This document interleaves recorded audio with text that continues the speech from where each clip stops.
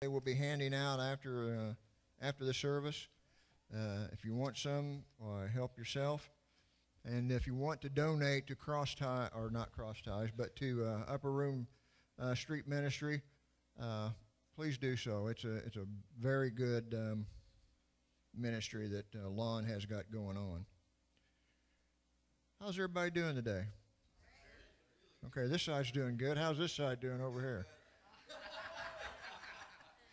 Well, I'm fixing to change that. My message today is not uh, not one of these jump, shout, swing from the chandelier type messages, as I do every now and then, but it is very practical and may, uh, whatever it is, it is. You're going to get it, so it don't matter. I want to read one verse. Actually, I'm going to tell you what I'm going to speak on. I want to speak on pride.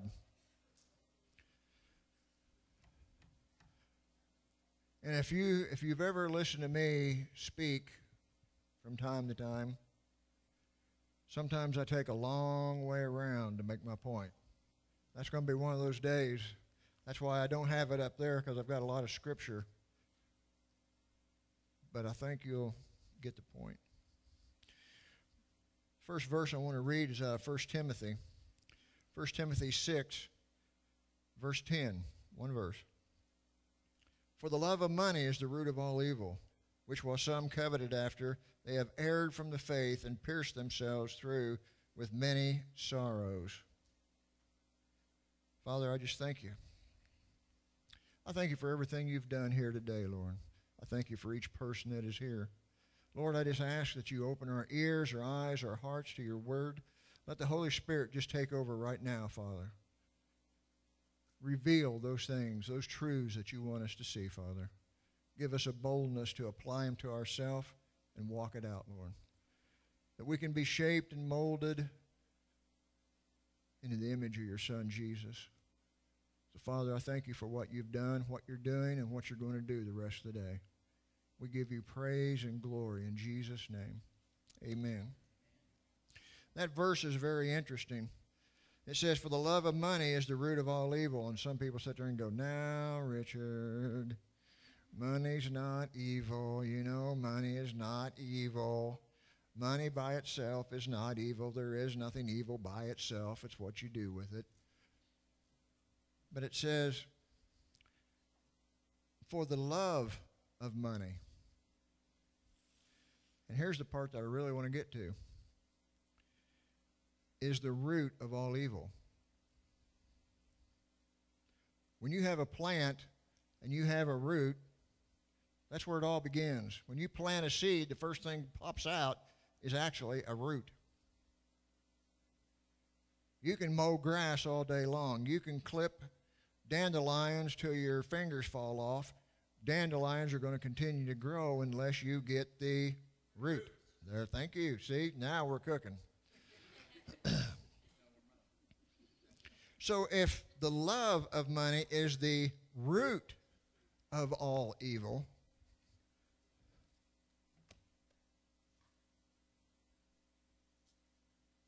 all, say all. All, all evil. All evil. Yes. All evil Man, you know, that's a big statement. That is a huge statement. The love of money is the root of all evil. But I want you to see where all that starts. And that's where I'm going to read my notes.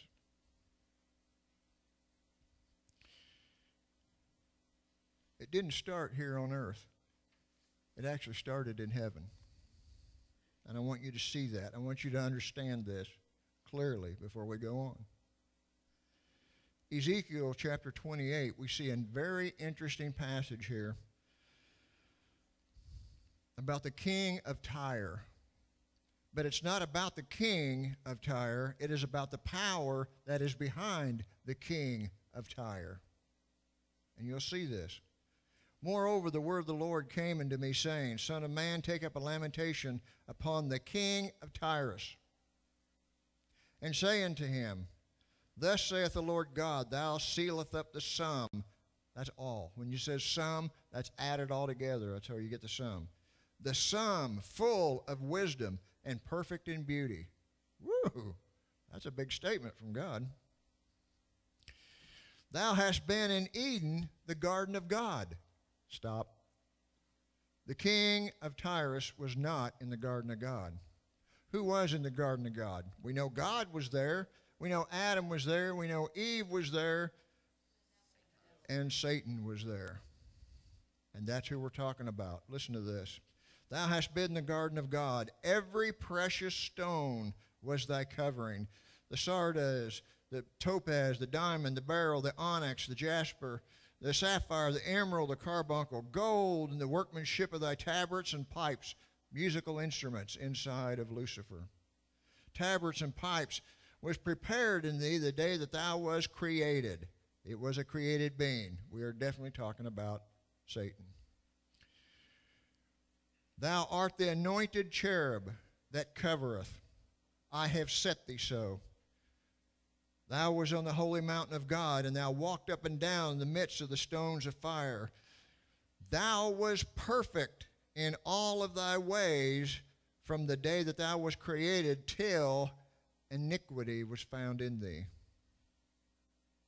And we're going to see what that iniquity in Lucifer was. By the multitude of thy merchandise, uh, thou, thou was filled with violence. This is the first characteristics of the fallen nature of Satan was violence. Look at the world today. Dear Jesus. And thou hast sinned, therefore I will cast thee as profane out of the mountain of God. I will destroy thee, O covering cherub, from the midst of the stones of fire. All that stuff he was covered with, he was ripped from him. He was flat wealthy. Every precious stone was his covering. Thy heart was lifted up. If you look up that word lifted up, it means to be haughty, prideful, because of thy beauty.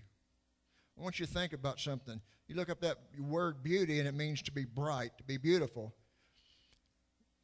Lucifer, now Satan, was covered with every, every precious stone. These, these were perfect stones. We're not talking about what we have today. We come up and they're flawed, and you know, these were perfect stones, perfect in color, and they were in, they were on Lucifer, and in heaven there was nothing but perfect light. Can you imagine what perfect light shining on all those perfect stones would have looked like? And it says that he was beautiful. And you look up that word beautiful, and it means to be bright and shiny. Thou hast corrupted thy wisdom by reason of thy brightness. I will cast thee to the ground, and I will lay you before kings, that they may behold you. You know, we are to behold Satan. We are to know him. We are to know his ways. We are to understand his purposes and know that his way is corrupt. All of his wisdom is corrupt. And he's been cast to the ground. Wasn't cast to hell, he was cast to the ground. And all those stones, all those precious stones were his. Everything, he was flat wealthy. And it says that his heart was lifted up in pride. Look at me. My, my. Ain't I something? Just look how beautiful and shiny I am. I am the head of the choir, and I am fa- fabulous. And God says, No, you're not. Watch this. Ripped all those stones away from him and cast him out of heaven, profane to the earth, so that we can behold him. And he has given us power and authority over all of his power. So we see Lucifer, who was in heaven, head of the choir. This is one reason why music is such a powerful medium in this world today. Either in praise and worship or in secular music. Either way, it's powerful. It is meant to be powerful, and it is powerful. He was cast out of heaven because of pride. You can read the rest of this, I think. I'm not going to go into it. I don't think uh, there is some good stuff there. Another study for another day. Now I want to take you to another person in the Bible. First thing I want you to see is that pride, all, all evil, all sin, started with one individual, and it was because of pride, and it got him kicked out of heaven. In 2 Kings chapter 5, we have this cool dude by the name of Naaman. Starting in verse 1, chapter 5 of 2 Kings, it says, Now Naaman, captain of the host of the king of Syria, was a great man with his master, and honorable because by him the Lord gave deliverance unto Syria, all of Israel. Syria came in, attacked Israel, and Israel fell to the Syrians, and Naaman was the captain of the army. He was an honorable man. The king respected him. The people, as he walked down the street, respected him kids, little kids, wanted to be like him. He is an honorable, he's the captain of the host of the army. He's the top dog. He's the head honcho. He's the big cheese. He's Ray. okay, maybe not, but let's move on.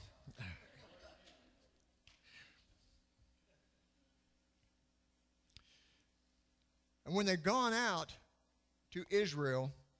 They captured Israel, and within all their capturing, they took a maid that was and give uh, this little uh, Israelite girl, this maid, to his wife. But there's something about Naaman that he kept a secret. Naaman was a leper. Now, in those days, leprosy was a fatal disease. There was no cure for leprosy. In those days, if you were a leper, you were segregated from all society because it was contagious. And here we have Naaman, the captain of the host of Syria, with all of his honor, with all of his pomp and fare, was a leper. And he kept that to himself. That was a little secret that he didn't want out. But within his own house, with his wife, and with the little maid, they knew it. And the little maid said, You know, Naaman, if you would go to the prophet in Israel, you could be cured of that. So he went to the king and he asked permission to go to Israel. King said, Sure, I'll tell you what I'll do. I'm going to write a letter to that king. Now understand, they did not uh, they did not remove kings and stuff. Romans did. Syrians, Grecians, they allowed them to stay as they were. They took slaves, they took their spoils, but they allowed them governments to stay. When the Romans came in, they destroyed everything. Different people. So that king was still in power. So this king wrote a letter to that king. I'll read you what it says. And the letter to the king of Israel saying, Now uh, when this letter is come unto thee, behold, I have therewith sent Naaman my servant to thee, that they may recover him from leprosy. And the king became furious.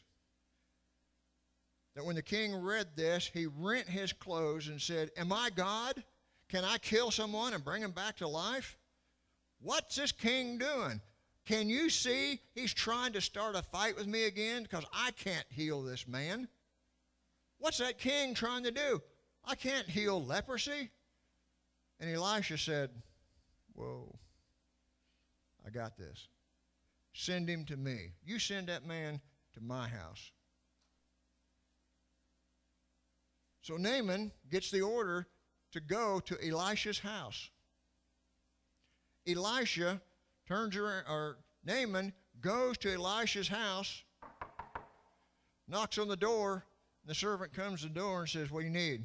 I'm sent here. I am Naaman, king or the captain of the host of Syria. He said, Oh, yeah. He says, uh, Elisha said, Go dip seven times in the Jordan. He said, What? Do you know who I am? He's not even going to come and talk to me. Elisha's in there in his recliner eating cheesecake, I'm sure. Elisha didn't even have, didn't even honor him by going to the door and talk to him. He sent his servant. Now, keep this in mind.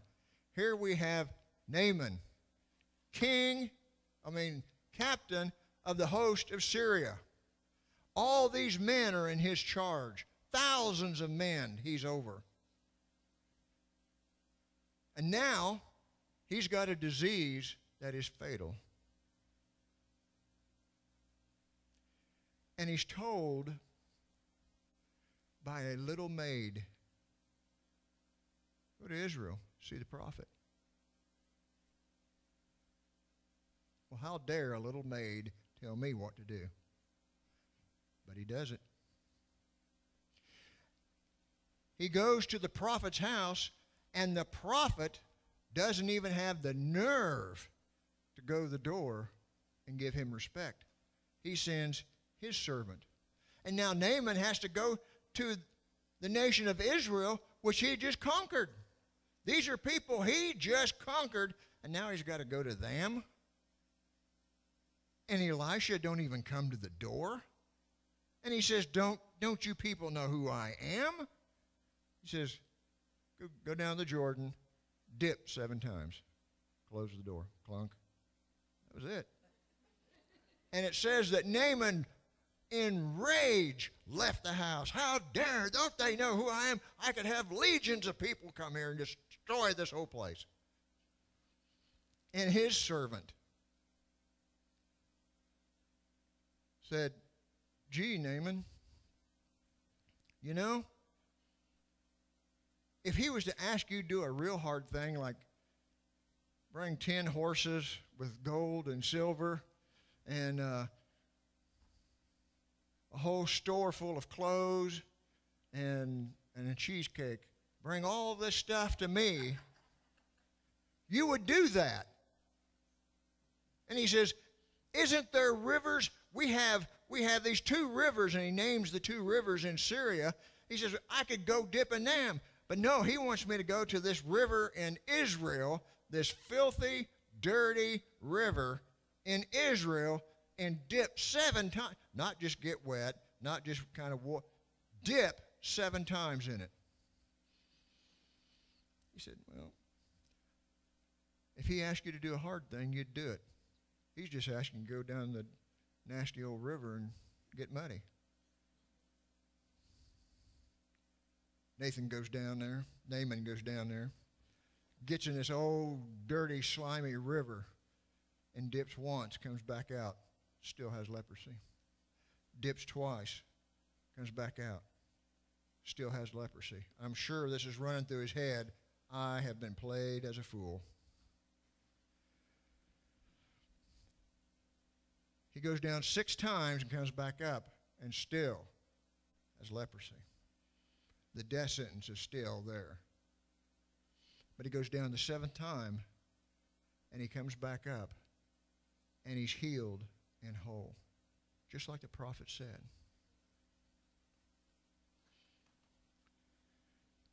The part I want you to see in this whole story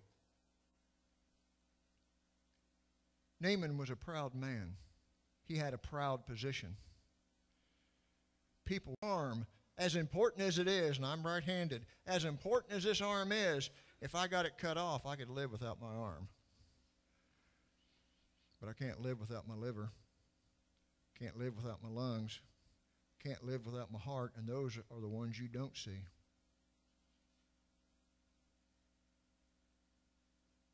We have a tendency to put a high premium on people we see.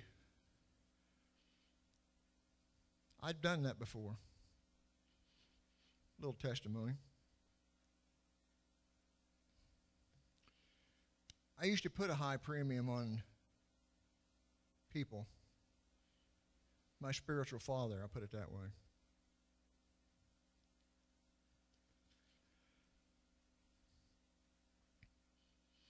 He's the one that came to the jail and I started listening to, and he got me going to church and spirit filled, and here I am today because of him.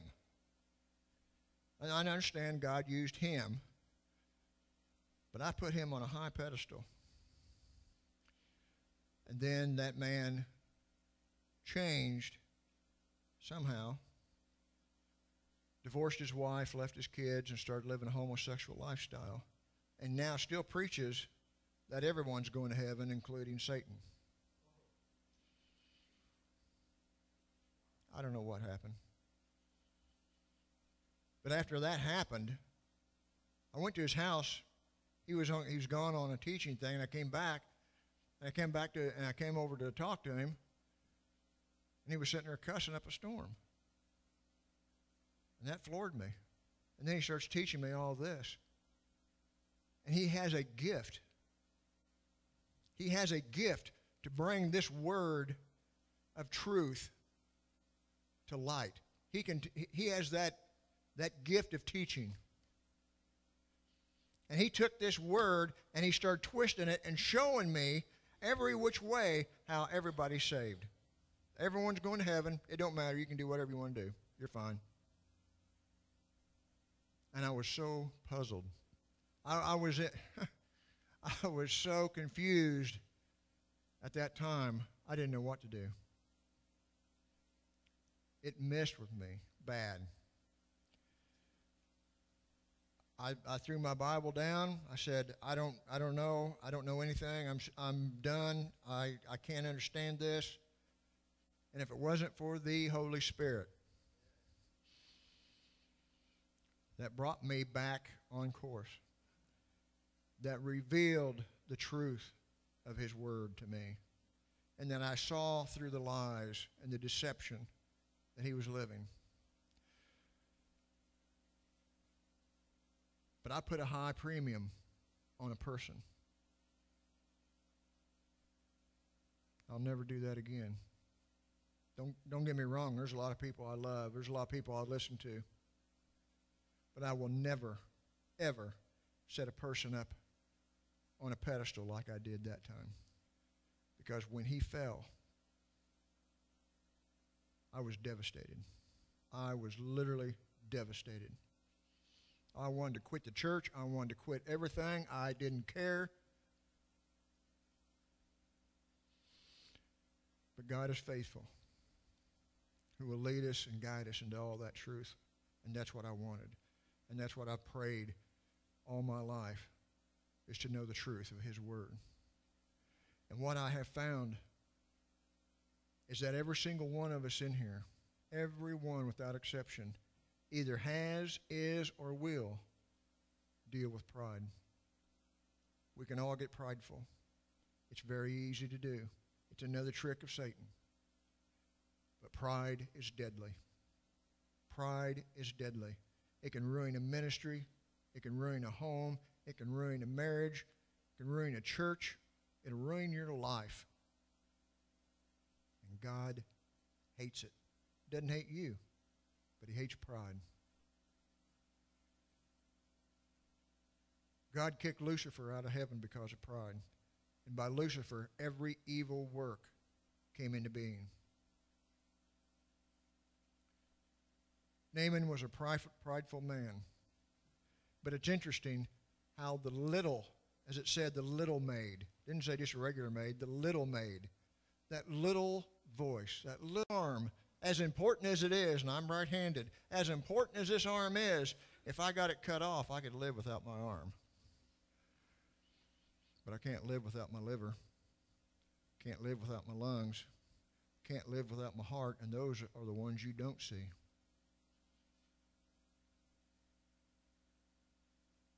We have a tendency to put a high premium on people we see. I've done that before. Little testimony. I used to put a high premium on people.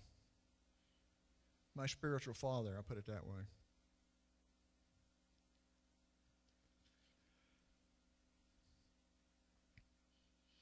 He's the one that came to the jail and I started listening to, and he got me going to church and spirit filled, and here I am today because of him. And I understand God used him, but I put him on a high pedestal. And then that man changed somehow, divorced his wife, left his kids, and started living a homosexual lifestyle and now still preaches that everyone's going to heaven, including Satan. I don't know what happened. But after that happened, I went to his house. He was on, he was gone on a teaching thing, and I came back. And I came back to and I came over to talk to him, and he was sitting there cussing up a storm. And that floored me. And then he starts teaching me all this. And he has a gift. He has a gift to bring this word of truth to light. He, can, he has that, that gift of teaching. And he took this word and he started twisting it and showing me every which way how everybody's saved. Everyone's going to heaven. It don't matter. You can do whatever you want to do. You're fine. And I was so puzzled. I, I was I was so confused at that time. I didn't know what to do. It messed with me bad. I, I threw my Bible down. I said, I don't, I don't know. I don't know anything. I'm, I'm done. I, I can't understand this. And if it wasn't for the Holy Spirit that brought me back on course, that revealed the truth of His Word to me. And then I saw through the lies and the deception that he was living. But I put a high premium on a person. I'll never do that again. Don't, don't get me wrong, there's a lot of people I love, there's a lot of people I listen to. But I will never, ever set a person up on a pedestal like I did that time. Because when he fell, I was devastated. I was literally devastated. I wanted to quit the church. I wanted to quit everything. I didn't care. But God is faithful, who will lead us and guide us into all that truth. And that's what I wanted.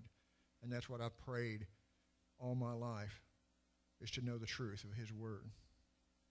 And what I have found is that every single one of us in here, every one without exception, either has, is, or will deal with pride. We can all get prideful. It's very easy to do. It's another trick of Satan.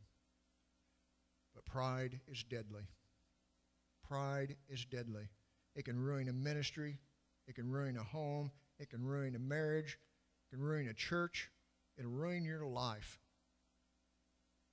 And God hates it. Doesn't hate you, but he hates pride. God kicked Lucifer out of heaven because of pride. And by Lucifer, every evil work came into being. Naaman was a prideful man. But it's interesting how the little, as it said, the little maid, didn't say just a regular maid, the little maid, that little voice, that little, small, insignificant voice can give you the best direction that you'll ever need. I like to think of that little maid as the Holy Spirit. That when he conquered that land of Israel and brought that maid back, this was the whole plan of God. Put humility into a man that was full of pride. By that one little voice.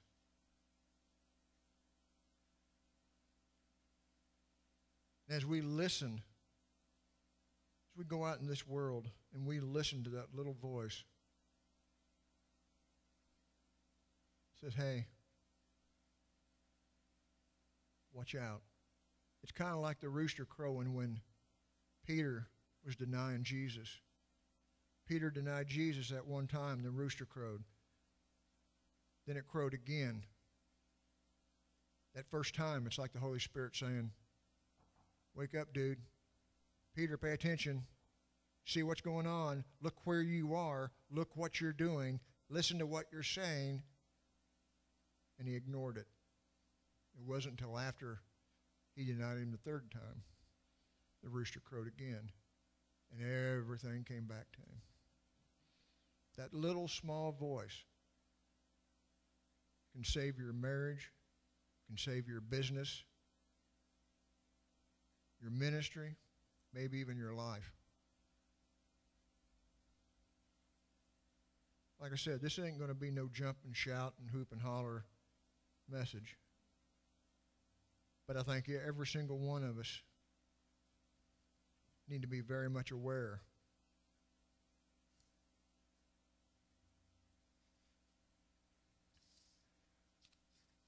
Oh, wow, look at these notes I forgot to get to.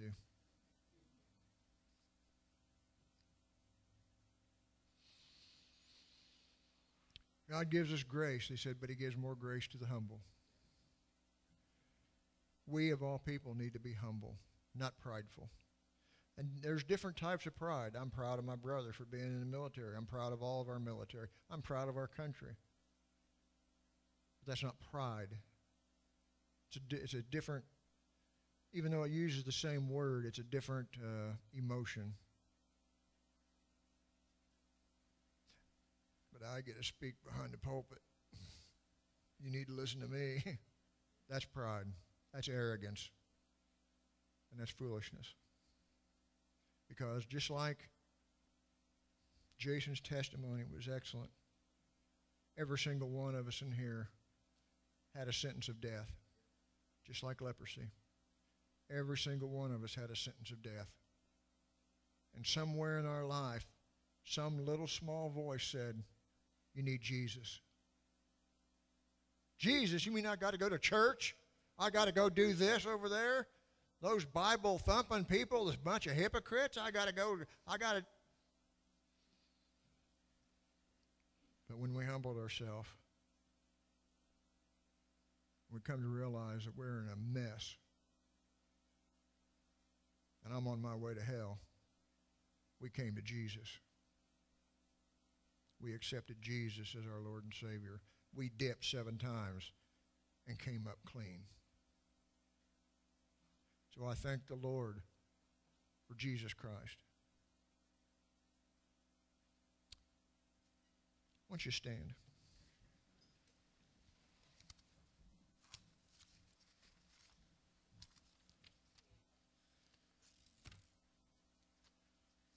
There was absolutely nothing Naaman could do for himself.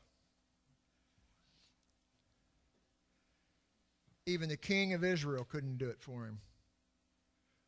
But the man of God, the prophet of God, give him a word from God by which he could be healed. Every single one of us carry that word in us. And there's a lot of people that have a sentence of death out there that are sick, that are dying. Marriages are on the rocks. Businesses are failing. Ministries falling apart. Health, finances, Satan's touching everything in any way he can. And yet we have that word in us. We have that answer. Want you take the hand of the person next to you.